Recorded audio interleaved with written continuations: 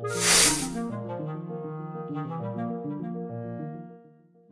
think that uh, we are going to enter also in, a, in, another, in another difficult thing inside the cath lab, as with MitraClip, and I think that uh, we are, uh, the echo is really essential there.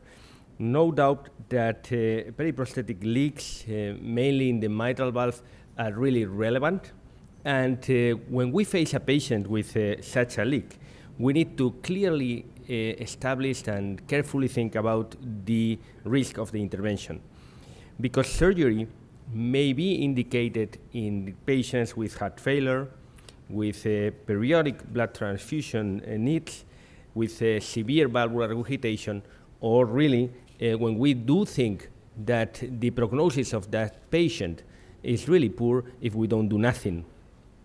Then the first question is how to evaluate this, uh, the severity of the periprosthetic leak. And there is no doubt, and this was a nice paper published uh, years ago by uh, Bill, just showing that uh, really the severity of this uh, periprosthetic regurgitation is really difficult, and mainly it's difficult to establish if we are facing a patient with eccentric jet. So how to quantitate that? This is the first question. And I think it's not easy. It's not easy and we need to uh, analyze in a very comprehensive uh, uh, way, just using the qualitative data that we can obtain with the jet density, the deceleration, with the semi-quantitative uh, measurements that we also do have, establishing a cutoff values between the mild, moderate, or severe regurgitation, like vena contracta, the uh, ratio with the jet width, the jet area, and also we have the quantitative data that we need to know. And uh, my strong recommendation here is that you need to do quantitative assessment always because once we face you face uh, a really difficult patient like that, you need your lab need to be used to do those quantitative measurements in order not to uh, do it in a difficult patient just for the first time. So you need to be used to these uh, uh, calculations with regurgitant volume, regurgitant uh, uh, fraction, or the uh, EROA. So, in fact, we have some pitfalls. No doubt we have some pitfalls. And uh, we don't have extensive validation publications in, in patients with periprosthetic leaks. I think that also we know that the shadowing effect of the produced by, by the uh, mechanical valves is really, really a pitfall. Also, we need to analyze the different jets because uh, we are thinking that a patient with a periprosthetic leak has only one leak, but this is not the case in most patients. And there are different uh, criteria used by the partner, by the VARC, and in fact now uh, um, led by the American Society is, uh, is a working group just dealing with um, the, uh, this issue. So what, what do we expect from ECHO in the leak closure? First diagnosis. No doubt that transthoracic echo plays also here a role, mainly in patients with aortic prosthesis. Uh, transesophageal is a must in both cases, but for sure adds uh, more value in cases of uh, the uh, mitral prosthesis. I think that uh, one thing that we need to analyze carefully before closing the leak is the periprocedural data that we obtain we need to confirm the location and the severity of the paravalvular regurgitation. We need to exclude certain complications. I mean, this patient with a periprosthetic leak has endocarditis. We need to really rule out all these things, thrombi in the, in the, uh, inside the prosthesis. And then, as usual, we need to speak the same language as the interventional cardiologist. So we need to locate the, the and for this, I'm sure that you have all this in your echo labs, but you need to uh, just consider where the aorta is, where it's lateral with uh, septal, lateral, posterior, anterior, and then the landmarks that is very useful is both the aorta and the left, left atrial appendage. So today we have uh, the navigators that uh, for sure also helps and helps the interventional cardiologist because in fact the location of the leak has been also related to the success of the procedure. So in uh, uh, let me show you one example of uh, uh, how you can help the, with the navigators, the interventional cardiologist, is uh, you can display, this will be the screen of the interventional cardiologist with the fluoro. You can superimpose the, uh, the green here in the probe means that is synchronized between the fluoro, the X-ray, and the 3D echo and the echo. You can rotate the image, you can show where the wire is, you can see where is, uh, uh with the color, where is the, the leak, and help in positioning the guideline, the, the wire. So what is the, in terms of mitral prosthesis, we have uh, much more experience within in our hospital with mitral prosthesis. We do more than the aortic uh, uh, closures, and uh, it's uh, clear that you need to sweep the probe in all the different angles and, and cutting planes in order to assess exactly where the leak is. Real-time 3D echo I think is a must in these procedures. It really helps in, the, in not only in understanding the anatomy, but precisely select where the wire should go.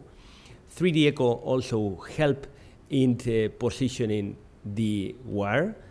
3D echo also help in sizing the exactly what is the location of the leak and with the color Doppler we can really analyze what is the size of the leak. Sometimes it's um, difficult with 3D color to assess the severity due to the volume rate, but to size is quite accurate. So this is uh, one example showing that the leak usually is not unique. Just have a look how is the different leaks that we have in this patient with a mitral prosthesis. And in fact, you can see it much better here. So there are different leaks, and then you will need to decide what to do with this patient. As you can see in the 2D echo, we are facing a patient almost that there is a complete dehiscence of the mitral prosthesis. So what we did in this case is, um, well, this was the third surgery of the patient, so we decided trying to close these uh, extensive different leaks in the patient. So with the 3D echo, you can see, uh, you can see clearly the wire. And uh, four hours later, starting the procedure, we uh, close the different uh, uh, leaks with um, with uh, a lot of patients, and I think it was really, really, and you can see the final result of the patient. This was a, 80-year-old patient, and in fact, is do still doing well. Well, it's not only severity, detecting the location, helping during the procedure and assessing the result, is also detecting complications. And I think that this is extremely important inside the cath lab. And I'm going to show you just a couple of examples. There is a patient with a mitral prosthesis, mechanical prosthesis, and immediately after placing the, the uh, closure in the leak, you can see that one of the discs is absolutely occluded. And with the uh, mean uh, here, you can see the gradient of the prosthesis after that. So you can really help just uh, analyzing what happens, not only closing the leak, but also what happens with the different disc of the prosthesis.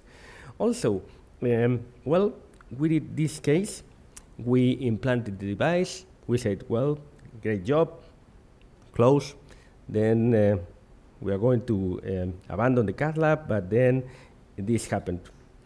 And uh, well, you know, when you see that, well, this is the fluoro. The patient had a mitral prosthesis, an aortic prosthesis, and something happened here in the left atrium. So at this time, you know what to do.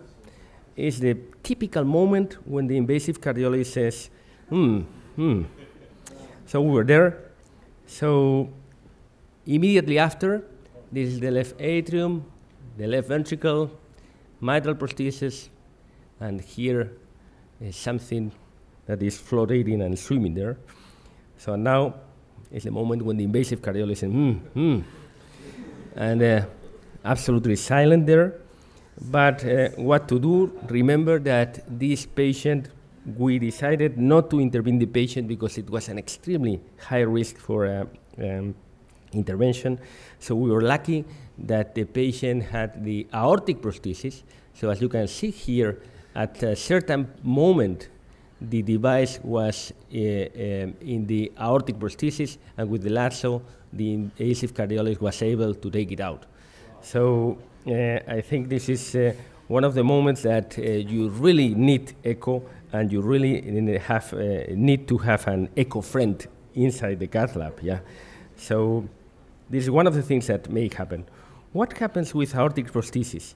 Well, I think that aortic prosthesis uh, don't forget in these uh, cases also the transthoracic approach for uh, uh analyzing exactly the position. It really helps.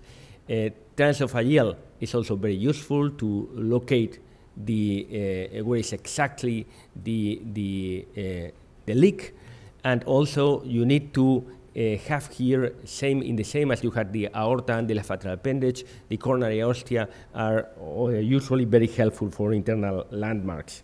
Well, uh, how to, uh, do we have experience with that? There are different papers showing the feasibility and the uh, usefulness of closing the uh, aortic leaks in um, percutaneously, and I think that in summary, the role of echo in closure and leaks is clearly first assessing the severity, guiding the procedure in terms of the transeptal puncture, supporting the positioning of the device, and don't forget that these procedures are quite challenging, so real-time evaluation of complications is really important inside the, cath, inside the cath lab.